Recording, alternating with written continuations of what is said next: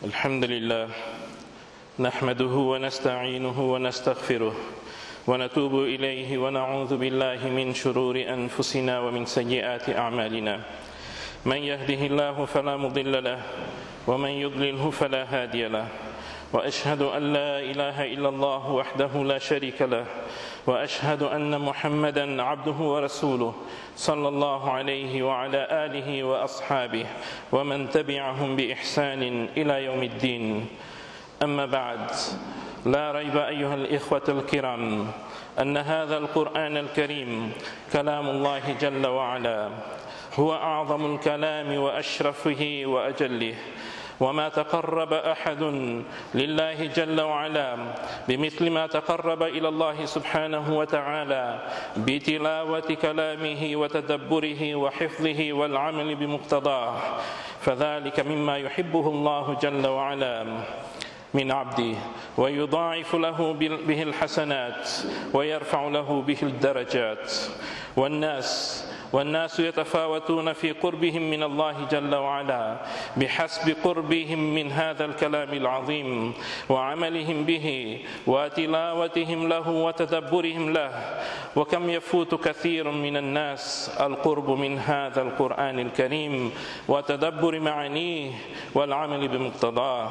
وفي هذا وفي هذا يقول أمير المؤمنين عثمان رضي الله عنه لو سلمت قلوبكم ما شبعت من كلام ربكم. لو سلمت قلوبكم ما شبعت من كلام ربكم. ولكن هذه القلوب يعتريها أنواع من المكدرات والمغيرات التي التي تؤدي بكثير من الناس إلى البعد عن فهم القرآن الكريم وعن التعلق به والقرب منه.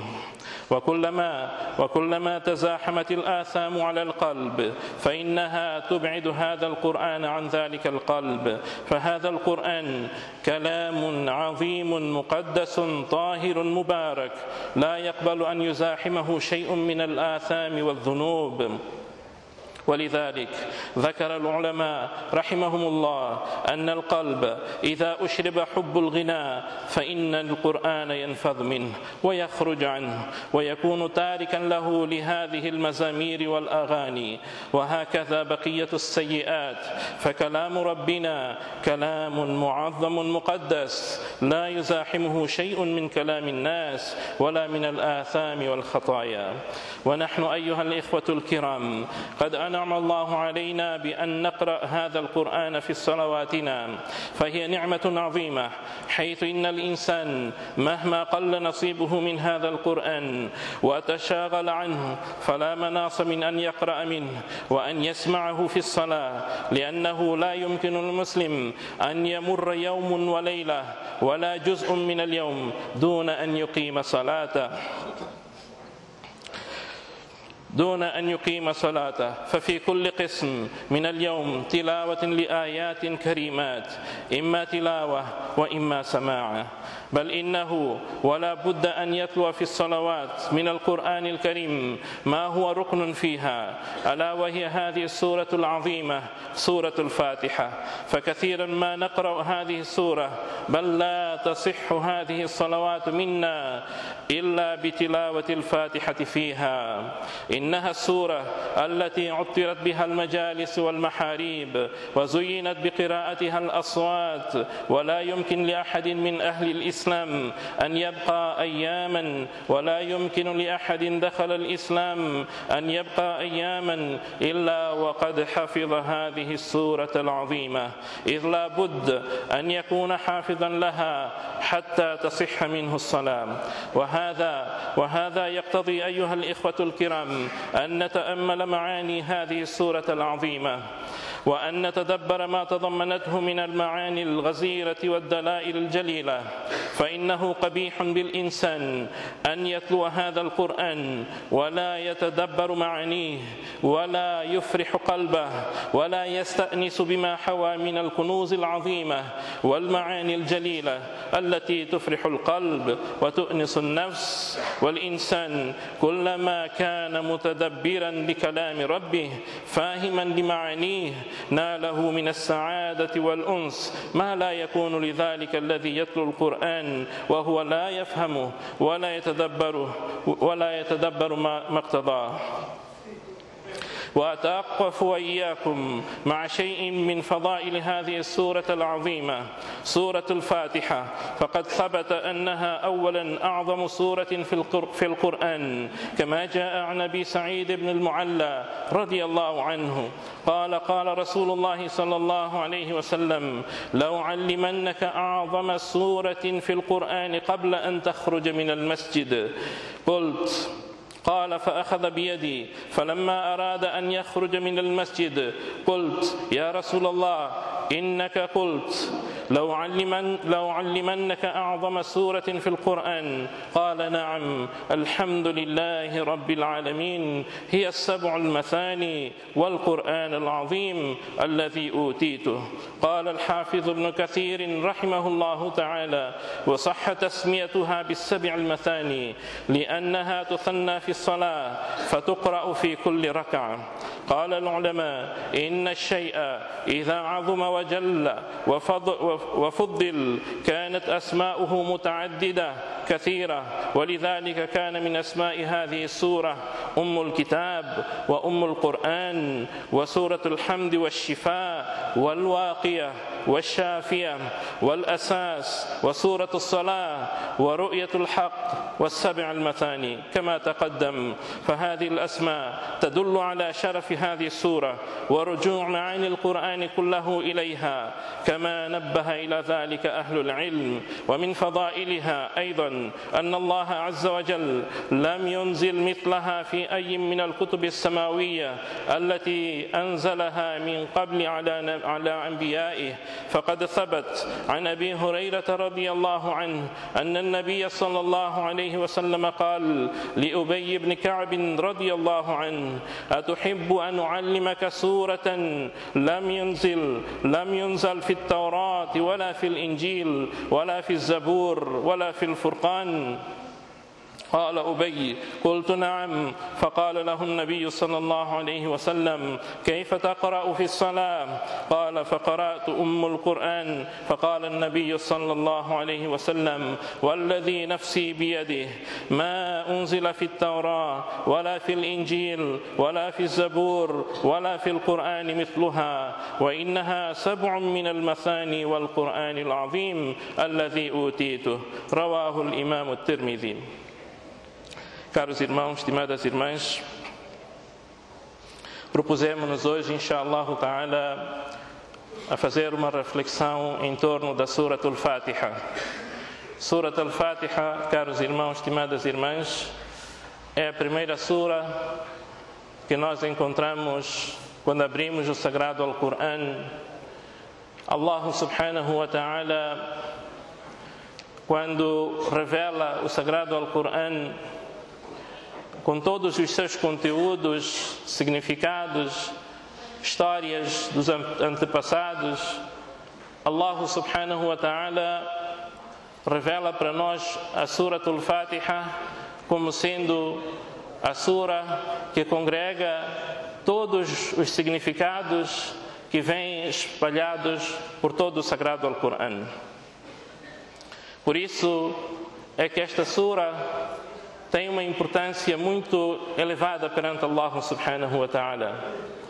É um surat, caros irmãos, que os ulamás dizem, devido à sua importância, Allah subhanahu wa ta'ala denominou esta sura de várias formas. Deu vários nomes a esta sura. Ele é conhecido como Surat al-Fatiha, aquela que abre, portanto, a recitação do Sagrado Alcorão, é conhecido como a Surat Ash-Shafia, portanto, aquela através da qual nós adquirimos a cura. Ela também é conhecida como Ummul Quran, a mãe de todo o Sagrado Alcorão. É conhecido por Surat Al-Hamd, a sura do louvor a Allah subhanahu wa ta'ala esta sura é também conhecido pela Surat Al-Kafia. Al-Kafia significa aquela que é suficiente. É suficiente para nós se nós usarmos somente esta sura, tanto nos nossos rituais ou em, outras, em outros aspectos da nossa vida, esta sura é suficiente pelos seus significados, os seus conteúdos, para nós, se nós ponderarmos sobre o seu valor, sobre, sobre, o seu conteúdo, é suficiente para nos guiarmos através desta mesma sura. O profeta Muhammad sallallahu alaihi wasallam certa vez diz para um dos seus companheiros de nome Abu Huraira radiallahu ta'ala anhu Uh, sal, uh, peço desculpas, Abu Ubay ibn Ka'b radiallahu ta'ala anhu diz أتحب أن أعلمك سورة لم ينزل في التوراة ولا في الإنجيل ولا في الزبور ولا في الفرقان مثلها Queres que eu te ensine uma sura, um capítulo do Alcorão? Capítulo esse que é um capítulo exclusivo. Não foi revelado nem na Taurá, nem na Bíblia, não foi revelado nem no Zabur, nos Salmos, e nem foi revelado no próprio Sagrado Alcorão um sura que se assemelha a esta sura. Ubay ibn Ka'b radiallahu anhu diz de certo que eu quero aprender esta sura, ó mensageiro de Allah. Então o profeta sallallahu alaihi wasallam pergunta para ele: "Kaifa taqra'u fi salah?" Como é que tu inicias a tua oração? Então Ubay ibn Ka'b diz que eu inicio a minha oração recitando Suratul Fatiha.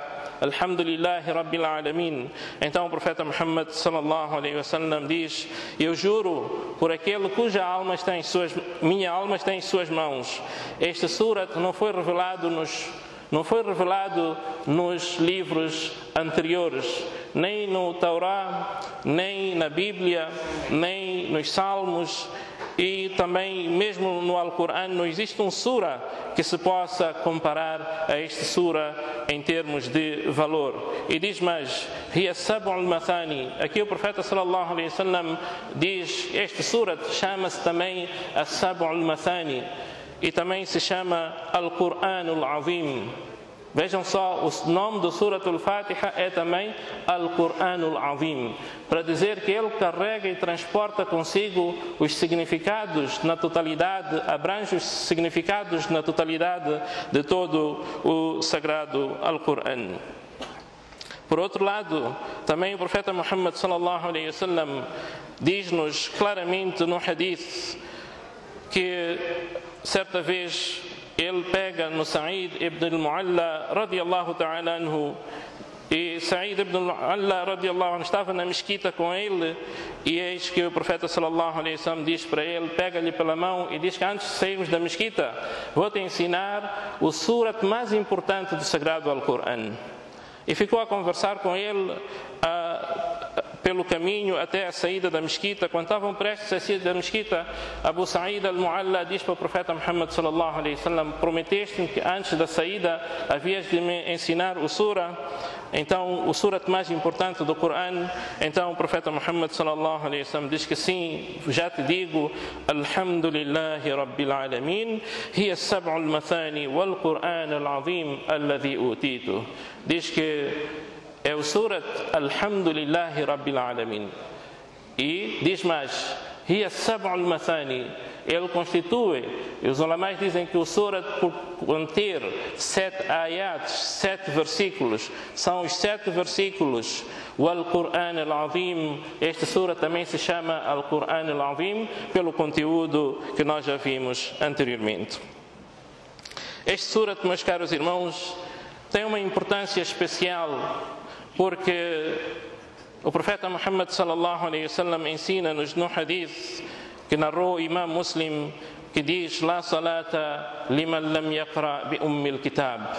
Não há salat, não há oração que seja válida, não há oração que seja válida para quem faz e não recita a surat al-Fatiha. Para dizer que todas as nossas orações tudo quanto nós fazemos em termos de orações temos que iniciar com a Surat al-Fatiha. Imaginemos que vem alguém e faz o seu salat e diz Allahu Akbar, Bismillahirrahmanirrahim, Alif Lam Mim, Zalika al-Kitabu la raiba fi e não recita a Surat al-Fatiha. este salat não tem validade nenhuma. Daí a importância de todos nós ter esta surat na nossa mente, termos memorizado no mínimo a surat al-Fatiha. Daí que os nossos ulama dizem, é recomendável para aquela pessoa que abraça o Islã, na primeira coisa que ela deve aprender depois de recitar o La ilaha illallah Muhammadur Rasulullah deve ser a Suratul Fatiha. Temos que trabalhar, temos que esforçar na pessoa para ela aprender e memorizar a Suratul Fatiha, pois ela tem uma obrigação que vem a seguir, que é o Salat. Então, este Salat só pode ter validade se a Suratul Fatiha for recitada. Daí que existem várias interpretações dos nossos ulama do passado em relação ao Suratul Fatiha quando nós estamos no Salah. Quando nós estamos no Salat, o imam recita Suratul Fatiha e a pergunta que se coloca é esta: será que os muqtadis que estão a ouvir esta recitação também devem recitar a Suratul Fatiha? Alguns ulamais dizem que não. O simples ouvir é suficiente. Mas há quem diga que não. É necessário que, enquanto o imam estiver a recitar a Surah Al-Fatiha, quando ela diz Alhamdulillah Rabbil Alamin, aquele que é muqtadi também, por si, repete, repete aquilo que o imam está a recitar. Há outros que dizem, e todos nós já presenciou, por exemplo, naqueles massajids onde os imãs são seguidores do madhab de Shafi'i, por exemplo. Notam que quando eles recitam a Surah Al-Fatiha, aqueles nossos imãs, quando chegam no término do Surah, dizem Walabalin Amin, dão um espaço relativamente mais longo do que o espaço que nós damos aqui. Um espaço de tempo, enfim, meio minuto. Dizem que esse espaço é um espaço para os muqtadis recitarem a Surah Al-Fatiha, cada um por si. Dizem, baseando neste hadith do profeta Muhammad sallallahu alaihi wasallam, é importante que cada um dos musallis não neste capítulo particular, não delegue a recitação do Surat al-Fatiha exclusivamente a quem? Ao imam. Mas sim, ele também tem a mesma obrigatoriedade que o imam tem. Do mesmo modo que, quando nós vamos entrar para o salat, o takbiratul ihram, quando o imam diz Allahu Akbar, nós não podemos somente levantar as mãos e não proferir nada. Também temos que proferir o Allahu Akbar, mesmo que seja somente para nós próprios ouvirmos.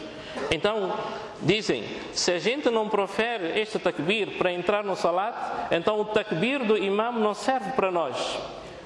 Quando entramos no salat, não é só o levantar as mãos, também temos Allahu Akbar, em voz somente para nós próprios ouvirmos.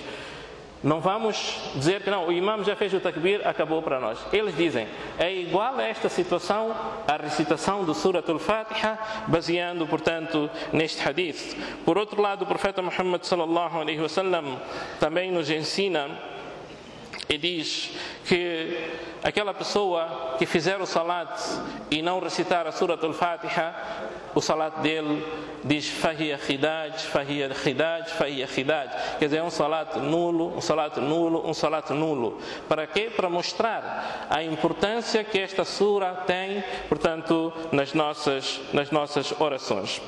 Caros irmãos, Surat al-Fatiha, já vimos os seus nomes, já vimos, portanto, a, a, a, a importância que esta sura tem em relação ao nosso salat e aquilo que o profeta sallallahu alaihi wasallam falou em relação a esta sura, portanto, de que não há um sura que se possa comparar a esta sura devido ao conteúdo que esta sura, portanto, tem, uh, portanto, uh, uh, carrega consigo. نو حدیث دکل حدیث شماد حدیث القدسی حدیث انکه الله سبحانه و تعالی پراپریو دیریس أو پروفیت محمد صلی الله عليه و سلم نیشت حدیث الله سبحانه و تعالی شما سورة الفاتحة الصلاة. شما رفیرس سورة الفاتحة کومو الصلاة. Para mostrar que o salat sem a Suratul Fatiha não tem validade, não é válido. Por isso é que o próprio Suratul Fatiha, um dos seus nomes é, é a salat. E vem neste hadith, onde Allah subhanahu wa ta'ala diz: قسمت الصلاة بين بيني وبين عبدي نصفين. Diz que eu dividi o salat, a oração. Neste caso, a oração qual é que vai ser? Vamos ver a prova de que a oração que Allah fala aqui, o salat que Allah fala aqui é a Suratul Fatiha. Allah diz: "Qassamtu salata baini wa baina 'abdi nisfain". Eu dividi a Suratul Fatiha entre mim e o meu servo em duas partes. Como é que Allah dividiu a Suratul Fatiha? Ele diz: فإذا قال الحمد لله رب العالمين Atenção, ele diz que eu dividi o salat entre mim e o meu servo em duas partes. E depois diz, quando o meu servo diz Alhamdulillah Rabbil Alamin, começa o quê? Ele a explicar o, o, o significado desse salat que ele fez referência que é a Surah Al-Fatiha. Quando o meu servo diz Alhamdulillah Rabbil Alamin, قال الله جل وعلا então Allah diz حمدني عبدي o meu servo está me louvando o meu servo está neste momento me louvando وإذا قال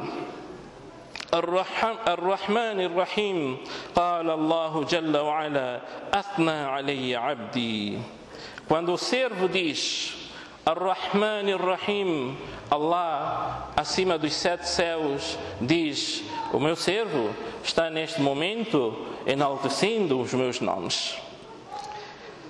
فإذا قال مالك يوم الدين قال الله تعالى مجدني عبدي quando o servo diz Malik Yawmiddin, então Allah acima dos sete céus responde: O meu servo está neste momento a glorificar o meu nome. فإذا قال إياك نعبد وإياك نستعين قال جل وعلا هذا بيني وبين عبدي ولعبدي ما سأل Quando o servo diz na verdade, ó meu, nosso Senhor, Iyaka na'budu, somente a Ti nós adoramos. Iyaka nasta'in, e somente de Ti nós esperamos, imploramos misericórdia. Então Allah subhanahu wa ta'ala diz que olha, este é entre mim e o meu servo, e eu de certo que darei aquilo que o meu servo merece. Entre mim e o meu servo, o que é que isso quer dizer? Allah subhanahu wa ta'ala, quando nós dissemos Iyaka na'budu, somente a ti, ya Allah, nós estamos a adorar. Então, isto é para Allah. E de ti nós estamos a pedir o que? A sua misericórdia, ó oh Allah, a sua ajuda, imploramos a sua ajuda. Então, Allah está a dizer: aquilo que o meu servo me pede, eu vou de certo concretizar para si. Diz mais. فإذا قال quando o servo diz اهدنا الصراط المستقيم صراط الذين أنعمت عليهم غير المغضوب عليهم ولا الضالين قال الله جل وعلا هذا لعبدي ولعبدي ما سأل quando o servo diz oh Allah guie-me para o caminho da retidão caminho daqueles a quem tu agraciastes não o caminho daqueles sobre quem caiu a sua ira nem o caminho dos que se desviaram então Allah diz o meu servo servo, neste momento, está-me a pedir grandes coisas e de certo que eu o darei. Está a pedir grandes coisas. Neste caso, está a pedir o Hidayat. Neste, quando nós fizemos pedimos, imploramos misericórdia de Allah para a nossa vida, para a nossa segurança, para o nosso bem-estar, para tudo do nosso dunya. Mas quando nós dissemos al-mustaqim, estamos a pedir Hidayah, estamos a pedir o nosso bem-estar espiritual, esse bem-estar espiritual que nos vai salvar na vida futura. Então, meus caros irmãos, esta surat é um surat muito importante, aonde nós se nós de facto percebermos o seu conteúdo e percebermos os seus significados, quando nós entrarmos no salat, quando nós entrarmos no salat e dissermos Alhamdulillah Rabbil Alamin, vamos ter aquele sentimento de que, olha, neste momento eu estou a louvar Allah e devo esperar uma resposta da parte de Allah subhanahu wa ta'ala. Quando eu digo Ar-Rahman Ar-Rahim, neste momento eu estou a enaltecer os nomes de Allah subhanahu wa ta'ala. Espero também uma resposta da parte de Allah subhanahu wa ta'ala. Quando eu digo Malik Yawmiddin, estou neste momento a, o quê? a louvar, estou neste momento a enaltecer o nome de Allah subhanahu wa ta'ala, logo também estou à espera de uma resposta de Allah subhanahu wa ta'ala. Por isso, Umar ibn Abdul Aziz, um grande khalifa do Islã, ele costumava, quando recitasse a Surat al-Fatiha, dizia Alhamdulillahi Rabbil Alamin e ficava um momento. depois Ar-Rahman Ar-Rahim, e ficava outro momento, Malik Yawmiddin, ficava outro momento, e assim por diante. E não era comum, e não é muito comum entre os porrais, entre os leitores do Corão, entre os imãs, fazerem isto. Perguntaram-lhe, Ya Amir al-Mu'minin, então, por que tu dás um tempo relativamente mais longo do que aquilo que é habitual entre os imãs? Ele diz: Sabe, eu quando se recita a Suratul Fatiha, quero ter o prazer de estar a comunicar-me com Allah subhanahu wa ta'ala. Quero ter o prazer de estar a comunicar-me com Allah subhanahu wa ta'ala. Então vocês não sabem que quando a pessoa recita Alhamdulillah Rabbil Alamin, Allah acima dos sete céus, ele responde. Quando diz Ar-Rahman Ar-Rahim, ele responde. E é assim, cada vez que a gente vai recitando a Surah Al-Fatiha, Allah está-nos a responder. Caros irmãos, estimadas irmãs, se nós tivéssemos o senso e a noção de que esta sura é um sura cuja importância é esta. É um sura através do qual nós comunicamos-nos diretamente com Allah subhanahu wa ta'ala e Allah fala conosco. Allah responde a cada uma das palavras, a cada uma das frases que nós proferimos aqui. De certo que, quando nós entramos para os nossos salados, para as nossas orações, a nossa concentração seria outra. Havíamos de entrar para o salat com a noção da presença de Allah subhanahu wa ta'ala, com a noção da omnipresença de Allah subhanahu wa ta'ala, com a noção de que Allah, com todo o seu poder, com toda a sua majestade, acima dos sete céus onde Ele se encontra, Ele está a olhar para nós e Ele está nos a ouvir. Está a ouvir o quê? As nossas preces, as nossas orações. Seria com este sentimento que nós estaríamos nas nossas orações. Infelizmente, quando nós entramos no salat, não nos preparamos para ter este sentimento dentro do salat. É importante nos prepararmos. Tudo isto começa em casa, com o nosso wudu em casa, sairmos de casa, nós nos mentalizarmos que não, eu estou a ir para o masjid, estou a ir falar com Allah subhanahu wa ta'ala. Não estou a ir para outro objetivo, estou a ir para o masjid, estou a ir comunicar-me com Allah subhanahu wa ta'ala. A gente sai de casa, chega no masjid com esta concentração e quando a gente faz Allahu Akbar, nós temos esta noção de que agora estamos a entrar para este momento de comunicação. Já, fiz, já ativamos a chamada para Allah. Agora queremos a resposta de Allah. Alhamdulillah Rabbil Alamin, Ar-Rahman Ar-Rahim. E para isto, meus caros irmãos, estimadas irmãs, é importante, é importante e joga um papel extremamente preponderante para nós conseguirmos esta boa esta, esta, esta, esta, esta noção da omnipresença de Allah, esta noção da comunicação com Allah subhanahu wa ta'ala é preponderante a recitação, a boa recitação do Coran pelos imãs, por nós próprios. Quando nós fazemos a recitação do Coran, como é que nós fazemos? Quando fazemos a recitação da Al-Fatiha, como é que nós fazemos? Em alguns momentos, quando o imã Alhamdulillahi Rabbil Alamin, para Ar-Rahman Ar-Rahim, para Al-Malik Yawmiddin, logo vem pô, nós estamos na altura da tecnologia avançada, em que os aviões já percorrem tantos quilómetros por cada segundo e tal, e não sei o quê. Este homem ainda está a andar de camelo, está no tempo da mil e tal anos, está de camelo. Ah, dá, dá, e tal. Não, por que isto? Qual é a nossa pressa? Se nós saímos de casa para vir o quê? Para vir cumprir com a adoração a Allah subhanahu wa ta'ala. A adoração a Allah não se compadece com estas pressas. É por isso que nós encontramos, e já muitas vezes falamos, o profeta sallallahu alaihi wasallam ensina-nos que quando alguém, por exemplo, se encontra no estado, não está aflita, não é querer ir à casa de banho, necessidades maiores ou menores, ela primeiro que cumpra as suas necessidades e depois vem para o salat já totalmente o quê? À vontade, com concentração. A pessoa não pode fazer salada, por exemplo, enquanto a comida está à espera de, dele lá, porque vai ficar naquela, naquela coisa de que pá, vamos fazer salada, vamos terminar o salado com rapidez para irmos comer. Não, coma primeiro, fique satisfeito e depois vem para o salado. E assim, existem muitas outras recomendações que nos preparam psicologicamente para nós virmos para o salado e estarmos concentrados na nossa oração totalmente voltados para Allah subhanahu wa ta'ala. E a Surah Al-Fatiha, meus caros irmãos, estimadas irmãs, é uma sura muito importante não somente na oração, ela é também importante em outras áreas da nossa vida. Quando certa vez, no tempo do profeta Muhammad sallallahu alaihi wasallam, ele enviou uma expedição para fora de Medina e eles, pela caminhada fora, enfim, uh, anoiteceu e foram pedir uh, acomodação numa certa aldeia mais próxima que eles viram. Foram lá, pediram acomodação. Aquelas pessoas, e ainda eram os primórdios do Islã, aquelas pessoas não tinham abraçado o Islã e, bom, eh, não, não tinham nenhum compromisso, nem nenhuma lealdade para com o profeta, nem para com os muçulmanos. Disseram que não, não, não, não, nós aqui não damos acomodação, nem vos conhecemos e tal, e pronto. Aquela gente, aquela uh, pequena uh, comitiva saiu e fora da área territorial daquela aldeia e foi, enfim, parar num sítio de modo a passar aquela noite. Durante a noite, vem alguém às corridas a gritar por aquela, por aquela gente, a chamar aquela gente. Porque viram-nos, acompanharam e observaram que eles foram parar a algum sítio, algures nas redondezas. Então vieram e pediram: Hal min raqin, hal min raqin. Existe entre vocês alguém que sabe fazer ruqya, que sabe fazer ruqya, que sabe curar, que sabe fazer algum curativo? Existe alguém entre vocês que sabe fazer?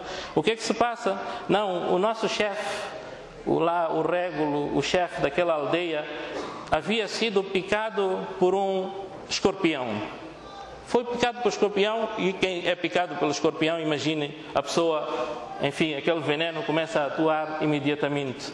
E eles não tinham ninguém, nem sabiam como fazer aquela, a cura daquele, daquele, daquele, daquele veneno. Foram, eventualmente, entre aquelas pessoas havia alguém que soubesse fazer algum curativo.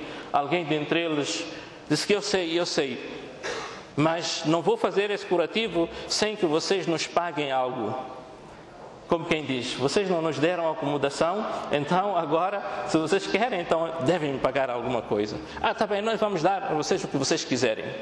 Pronto.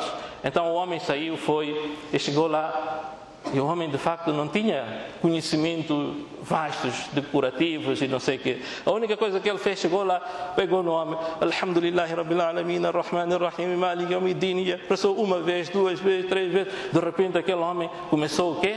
A reagir, começou a reagir, começou a reagir e de repente ficou no estado normal. E o homem ele próprio que estava a recitar até ficou assim um bocadinho epá, assustado. Poxa, este homem de facto ficou, ficou curado. E agora diz, epá, agora dê-me lá a, a, a minha recompensa por este curativo que eu fiz. E eles pegaram ali, homens das aldeias, tinham ali um monte de carneiros e entregaram a ele. Agora isso constitui um problema para a mente das pessoas. Epá, será que fizemos coisa certa? Fizemos coisa certa?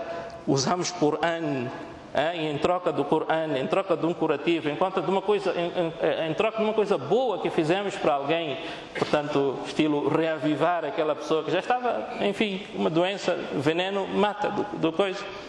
Então fizemos coisa boa, então não mexeram naquele, naquele gado, não mexeram naqueles, naquelas ovelhas, até chegarem a Medina.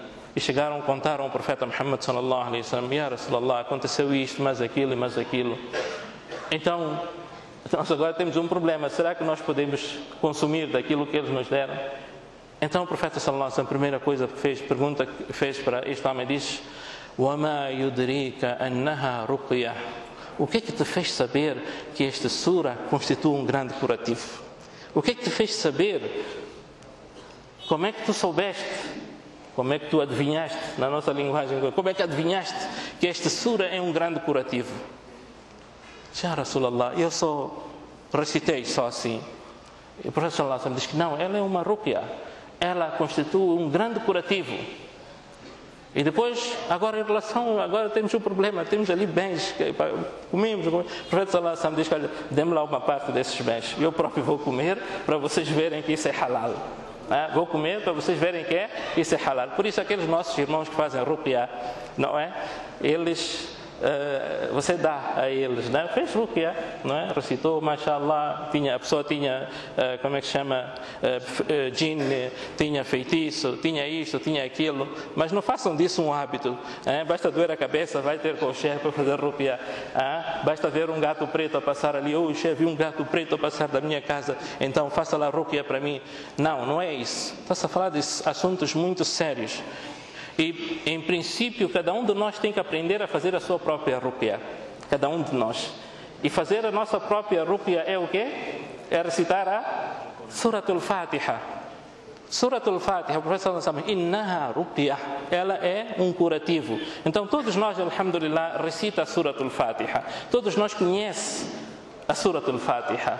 Então, meus caros irmãos, façamos nós em primeiro lugar esta rúpia quando tivermos alguma situação desagradável, doenças e, e, e por aí em diante. A Surat al-Fatiha ela é extremamente importante. Caros irmãos, quando nós dissemos Alhamdulillah Rabbil Alamin, estamos a louvar Allah subhanahu wa ta'ala. Estamos a louvar Allah subhanahu wa ta'ala, o Criador de todo o universo, o nosso Criador. Temos que ter esta noção. Quando entramos para o Salat, nós dizemos Alhamdulillah Rabbil Alamin, estamos a mostrar a nossa insignificância perante Allah subhanahu wa ta'ala. Estamos a mostrar a nossa pequenez perante Allah subhanahu wa ta'ala. E é somente para Ele que nós temos que mostrar insignificância. É somente para Allah subhanahu wa ta'ala que nós temos que nos submeter na totalidade. Ar-Rahman, Ar-Rahim, aquele que é misericordioso, que é bondoso, que tem misericórdia com as suas criaturas, tem misericórdia das suas criaturas no mundo e também tem misericórdia das suas criaturas no Akhirah. Alguns ulamais dizem Rahmanun fi dunya, Rahimun fil akhirah. Ele é misericordiador no mundo e ele é quem dá, portanto, o bem-estar no akhirah. Malik Yawmiddin, o Senhor, o Senhor, o dono, o controlador, o rei do dia do juízo final. Nós trazemos, depois de reconhecermos ah, o louvor a Allah, reconhecemos estas qualidades de bondade, de misericórdia, de compaixão de Allah subhanahu wa ta'ala, nós viramos-nos para Ele e dissemos: Malik Yawmiddin, Allah, Tu é que és o Senhor do dia do juízo final. Estamos a reconhecer mais uma vez o que é aquele nosso imã, aquela nossa crença e convicção na existência do dia do julgamento. Malik Yawmiddin, oh Allah, Tu é que és o Senhor desse dia. Esse dia, com todos os adventos e fenômenos que vão acontecer, somente tu, oh Allah, é que nos podes salvar, é que nos podes dar um lugar tranquilo nesse dia em que todas as pessoas estarão na preocupação, todas as pessoas estarão na aflição. Malik Yawmiddin, por isso, Iyaka na'budu wa iyaka nasta'in. Oh Allah, somente a ti, somente a ti nós adoramos. Daí que é expressamente proibido nós dedicarmos qualquer tipo de adoração a qualquer ser que seja. A adoração toda ela tem que ser exclusiva para Allah. E não é só esta adoração que nós conhecemos, nós falamos de salat muitas vezes, quando se diz o que é ritual, o que é adoração, o que é ibada. Não, diz salat, jejum, mas o que zakat, mais o que? Tilawat al-Quran, mais Não, não. Existem muito mais rituais. Por exemplo, o juramento. O juramento. O Profeta Sallallahu diz que aquela pessoa que quiser jurar, que jure somente em nome de Allah ou que se cale. O juramento é um ritual. Então não podemos dedicar este ritual porque nós dissemos somente a ti nós dedicamos os nossos rituais a Allah. Então não podemos dedicar, por exemplo, o sacrificar o animal. Nós não podemos sacrificar o animal em nome dos espíritos, em nome dos antepassados, em nome, em nome. Não, não, não. Temos que sacrificar os animais somente em nome de Allah e dedicando para Allah subhanahu wa ta'ala. Assim, meus caros irmãos, muitos outros aspectos que constituem a adoração devem, devemos somente dedicar exclusivamente a Allah subhanahu wa ta'ala. Por isso, nós dissemos Iyaka na'budu wa Iyaka nasta'in. Oh Allah, de ti nós pedimos apoio, pedimos suporte, lá nós pedimos forças de Ti. Somente Tu é quem nos pode conceder tudo isso. Depois pedimos a Allah Hidayah, a coisa mais preciosa que nós podemos ter aqui no mundo, que é a boa orientação, al-Hidayah, a boa orientação, a orientação aquela orientação que Allah subhanahu wa ta'ala ensinou aos seus profetas, aos seus mensageiros, aquela orientação que Allah subhanahu wa ta'ala prescreveu no seu livro sagrado. Ihdina sirat al-mustaqim. Oh Allah, mostre-nos, ilumine-nos para a senda correta. Qual é esta senda? Qual é este caminho? Sirat al-ladhina an'amta alayhim o caminho daqueles a quem tu agraciastes neste mundo. Há muitas pessoas, enfim, que passam a vida inteira não reconhecem a existência de Allah, não reconhecem o poder de Allah, não reconhecem que é Allah quem lhe criou, não reconhecem que todos nós um dia vai voltar para Allah, não reconhecem o dia do julgamento, passam uma vida de rebeldia em relação ao nosso Criador, Allah subhanahu wa ta'ala. Nós pedimos, oh Allah, faça com que nós não sejamos ou não estejamos naquele grupo de pessoas que não sabem reconhecer e agradecer o facto de Allah lhe ter criado, o facto de Allah lhe ter agraciado com todas essas benesses que a pessoa está a viver aqui no mundo. اهدنا الصراط المستقيم صراط الذين أنعمت عليهم غير المغضوب عليهم ولا الضالين nós dissemos oh Allah não não nos guie e não nos deixe entrar não nos deixe percorrer o caminho daquelas pessoas sobre quem a sua ira caiu por causa da prática dos pecados, por causa da descrença, por causa da idolatria, por causa e por causa e por causa dos maus maus actos e atitudes e comportamentos que as pessoas tiveram ou têm e por isso caíram na zanga e na ira de Allah. Ya Allah, faça com que nós não estejamos aí, proteja-nos da sua ira. Ghairil maghdubi alayhim waladhalin. E Allah também faça-nos estar longe daqueles que se desviaram ao longo do caminho daqueles que se desviaram ao longo do caminho. E a este respeito, meus caros irmãos, estimadas irmãs, no tafsir desta sura, principalmente desta última parte do ayah, alguns ulamás dizem: aqueles sobre quem caiu a ira de Allah, são aquelas pessoas como os judeus que conhecendo a verdade proveniente da parte de Allah, eles simplesmente afastaram-se da verdade proveniente da parte de Allah. Por isso, sobre eles caiu a ira de Allah subhanahu wa ta'ala. Sobre eles caiu a ira de Allah subhanahu wa ta'ala por eles terem conhecimento e toda a convicção sobre a criação de Allah e sobre todos aqueles aspectos que o profeta Musa alayhi salatu ensinou-os. Eles têm conhecimento, mas eles se afastam. Dizem, entre os muçulmanos também, ulama, todos nós sejam álimos, não álimos, aqueles que têm o conhecimento da verdade, mas por capricho próprio, eles se afastam, se abstêm da prática dessa verdade. Então também entram neste capítulo de quem recai ou cai sobre eles a ira de Allah subhanahu wa ta'ala. Por outro lado, esses que se desviaram pelo caminho, deixaram-se desviar pelo caminho, dizem os Nasara, os cristãos, eles têm uma religião de bondade, uma coisa muito boa e tal, isto, aquilo, mas ao longo do percurso aparece um santo, diz que agora não, vamos fazer assim, depois não, vamos fazer assim, depois o concílio de não sei onde determina isto, começaram a afastar-se do quê? Da sua religião aos poucos. Hoje, se a gente pergunta na Bíblia, vocês têm ou não têm o Udu? Diz que não, temos, está lá, aquele lavar a cara e tal, lavar as mãos, os pés antes, está lá na Bíblia. Mas então por que, que vocês não praticam? Diz que não, não, isso aqui era lá do, dos antepassados. Mas está na Bíblia. Não, vocês na Bíblia têm o rukum, genuflexão, diz que sim, temos. Vocês têm a prostração, temos. então vocês por que não fazem nas vossas orações? Não, não, isso os profetas e aqueles primeiros fizeram, nós agora já alteramos, já mudamos. Ao longo do percurso, muita coisa foi sendo mudada. Daí que o Islã, meus caros irmãos, estimadas irmãs, repreende veementemente, com todas as forças, todo o tipo de inovação que alguém quer introduzir. Seja esse alim, seja não alim. Se alguém vier e disser, não, mas nós podemos fazer assim, porque isto é igual àquilo que o profeta. Não, não, não queremos fazer igual àquilo que o profeta fez. Nós queremos fazer exatamente aquilo. Não podemos dizer que não, se o profeta uh, fez assim, então nós podemos fazer mais aquilo. Não, não é aceitável. Por isso o profeta sallallahu alaihi wasallam diz no hadith que é narrado por Aisha radiallahu ta'ala anha, diz aquela pessoa, man ahdatha fi amrina hadha ma laysa minhu fahuwa rad.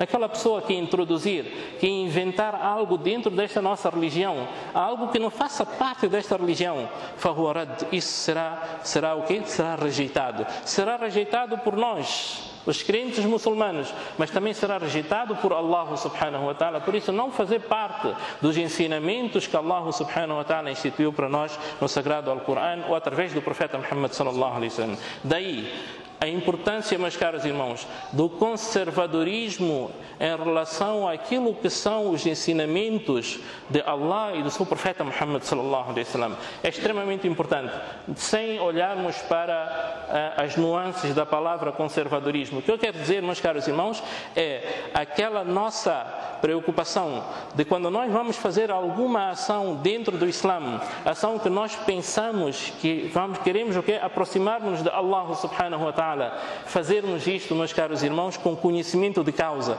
que Allah ensinou-nos a fazer assim. Não, fazemos porque o profeta ensinou-nos a fazer assim.